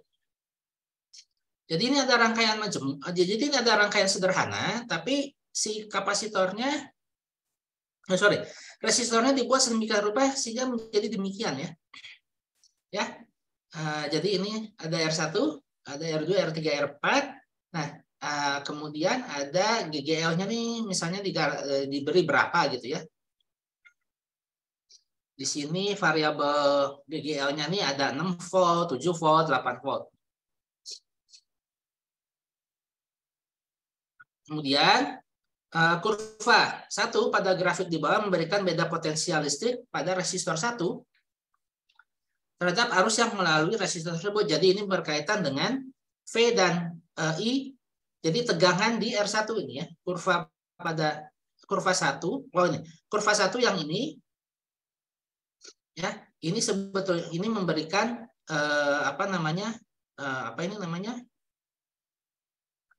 Eh, apa namanya grafik tegangan hubungan tegangan antara tegangan dengan arus di R1.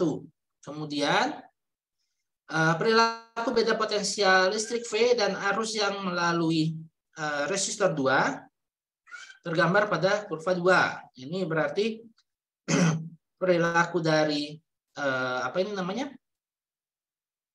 Beda potensial ini sama arusnya ini. Nah, kemudian yang tiga yang juga yang ketiga. Nah, kemudian nah jika R4 ya, R4 ini jika R4 ini adalah sekian kilo ohm, maka nilai hambatan ekuivalen rangkaian ini adalah berapa? Jika eh,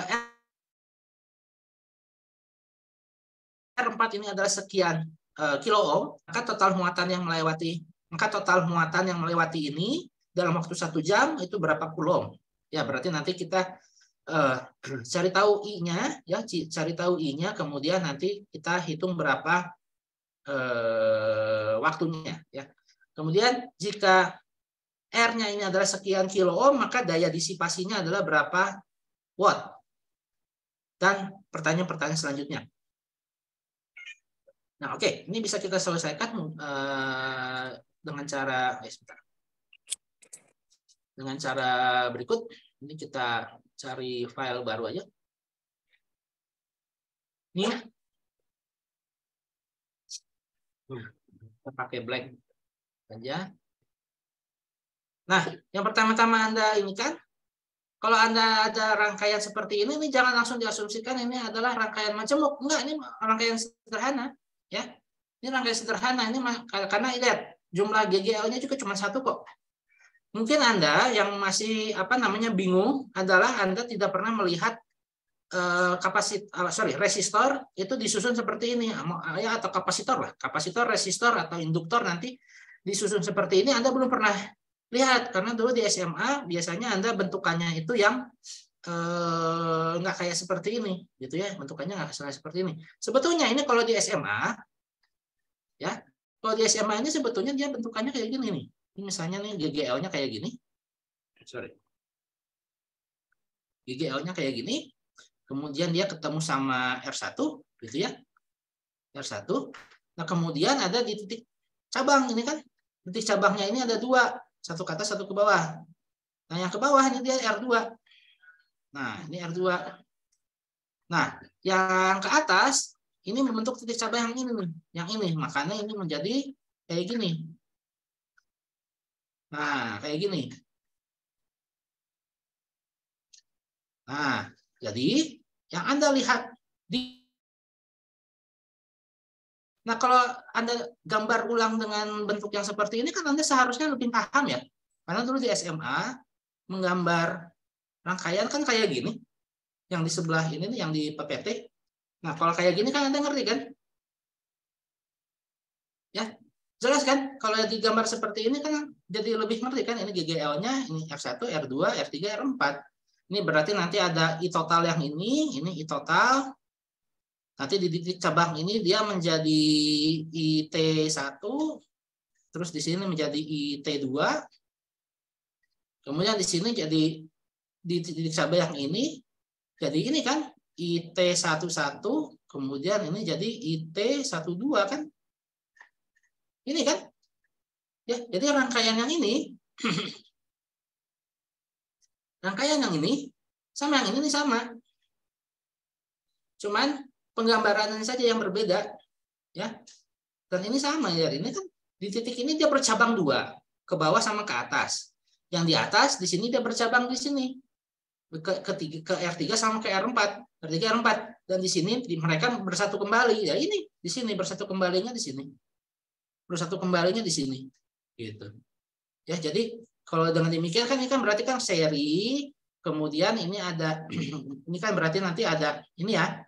Berarti nanti R3 dengan R4 maka nanti ada R34 adalah sama dengan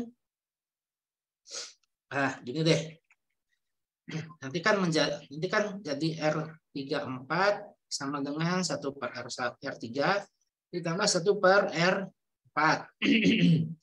nanti akan menjadi R34 itu adalah sama dengan R3 R4 per R3 tambah R4 gitu kan. Nah, kemudian nanti R2 paralel dengan R34. Nah, berarti nanti R2 34 itu adalah sama dengan R2 R34 dibagi eh, R2 ditambah R34. Nah, berarti nanti R total R total adalah sama dengan R1 ditambah R2 yang diparalelkan dengan R3 dan paralel 4 gitu kan. Nah, ini udah berarti nanti arus total adalah sama dengan GGL dibagi R total. Ya. Ya, jadi nanti arus yang masuk ke R1 itu adalah sama dengan eh, total. Ya, total. Nah, sekarang grafik ini tujuannya apa? Grafik ini kan tujuannya untuk supaya Anda tahu berapa R-nya di R1, R2, R3. Ya, karena PIR kan P sama dengan IR. Ya kan? V sama dengan IR. Jadinya di sini Anda diminta untuk mencari kemiringannya. Ya, ini berarti uh, delta V adalah sama dengan delta I R. Nah, ini delta V-nya untuk yang satu untuk yang satu ini misalnya dari 9 0. 9 kurang 0 adalah sama dengan uh, berapa ini? 3 dikurangi Oh ya, jangan lupa satuannya. Ini volt adalah sama dengan uh, satu itu uh, 3 kurang 0 miliampere dikalikan dengan R. Maka R itu adalah sama dengan 9 volt dibagi 3 eh, kali 10 pangkat min 3 ampere. Maka ini menjadi 9000 bagi 3, ini menjadi 3000 ohm sama dengan menjadi 3 kilo ohm. ya, ini untuk R1. R1. Nah, kemudian R2 adalah saya langsung ini saja. Ini berarti delta V2 dibagi delta I 2 ini sama dengan eh, berapa itu? 6 kurang 0 dibagi eh, berapa itu? 3 ya. Sama 3. 3 kurang 0 kali 10 pangkat min 3. Ini berarti sama dengan 6 bagi 6 bagi 3 ini berarti 2 kilo ohm.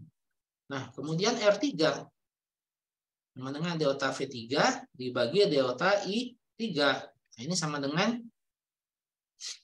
eh, berapa? Sama dengan ah ini udah ada jawabannya sama dengan satu kilo ohm. Nah, ini kan dari grafik didapatkan sekian-sekian. Ini tujuannya adalah untuk supaya Anda dapatkan ini. nah, ini eh, runutannya runutannya ya ini ya tinggal ini aja. e, jika R4. Nah, tadi kan disebutkan kalau misalnya R4-nya if jika R4 itu adalah sama dengan berapa tadi? Ini misalnya R4-nya itu 1 kilo ohm. Ya. Jika R4-nya itu adalah sama dengan 1 kilo ohm, kemudian GGL-nya itu tadi 6 volt. Ya. Maka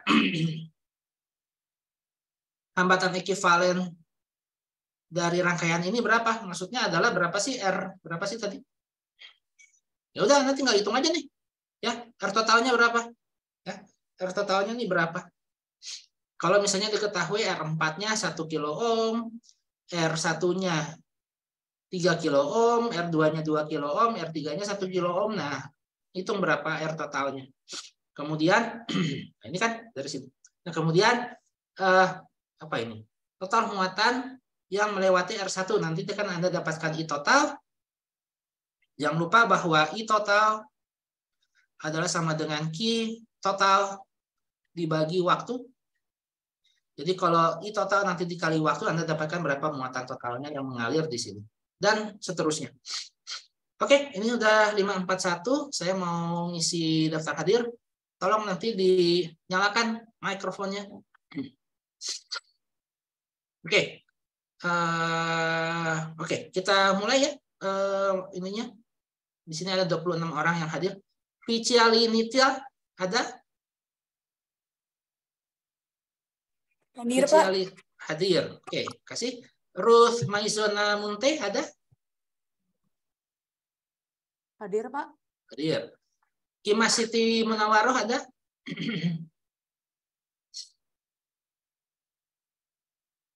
Oke, tidak ada. Nanang Wahyu Audiansa ada?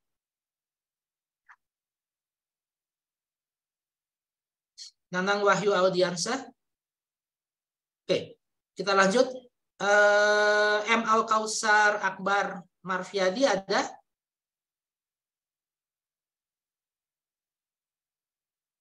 Oke, tidak ada. Quintus Arius Silalahi ada? Tadi hadir Pak. Siapa? Ini Quintus siapa? tadi hadir. Cuma keluar duluan tadi. Quintus. Ah, kayak kelempar Pak sinyal hujan gede di Cirebon, Pak. Oh, oke. Okay. Uh, Fadlian Caturwibowo ada? Hadir Pak. Uh, Zahra Syamila ada? Hadir Pak. Nadia Vero Ulina ada? Uh, hadir Pak. Alvin Baihaki ada?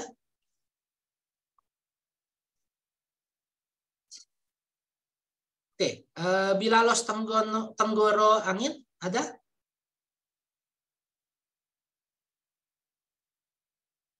Muflihul Akbar Nugraha ada? Hadir, Pak. Muhammad Dimas Sakti ada? Hadir, Pak. Rohma Rah Rahma Afiyah ada? Hadir, Pak. Asfa Hanifah Safitri ada? Hadir, Pak. Raffi Nabil Maulana? Raffi Nabil Maulana? Oke, Fauzi Makarim. Aduh, Hadir, oh, Pak. Oh, ada. Raffi Raihan Sendikia. Raffi Raihan Sendikia ada? Oke, uh, Evi Fujianti ada? Hadir, Pak. Oke. Uh, Berlin Fitrah Al-Kausar ada? Ada, Pak. Selanjutnya Muhammad Faisal ada? Ada tidak ada? Muhammad Faisal? Oke, Reza Ramadana ada? Hadir Pak. Nadia ada? Hadir Pak. Kemudian Nicholas Halomuana Bayo ada? Hadir Pak. Oke, selanjutnya Muhammad Adli Dafa. Apakah Hadir ada? Pak. Hadir Pak. Kemudian Feti Fitriani apakah ada? Hadir Pak. Oke, makasih. Adelia Andarista, apakah ada? Hadir, Pak.